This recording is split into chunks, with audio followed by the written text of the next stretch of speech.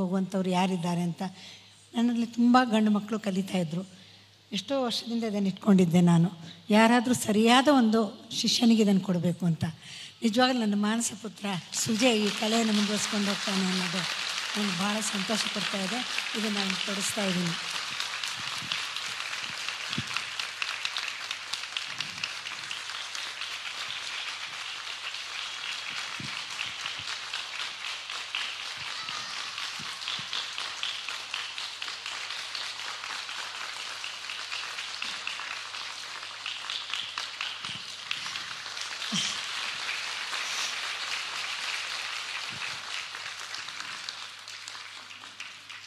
ಇದಕ್ಕಿಂತ ಅಲೌಕಿಕವಾದಂಥ ಒಂದು ಕ್ಷಣ ಬರೋದಕ್ಕೆ ಸಾಧ್ಯನೇ ಇಲ್ಲ.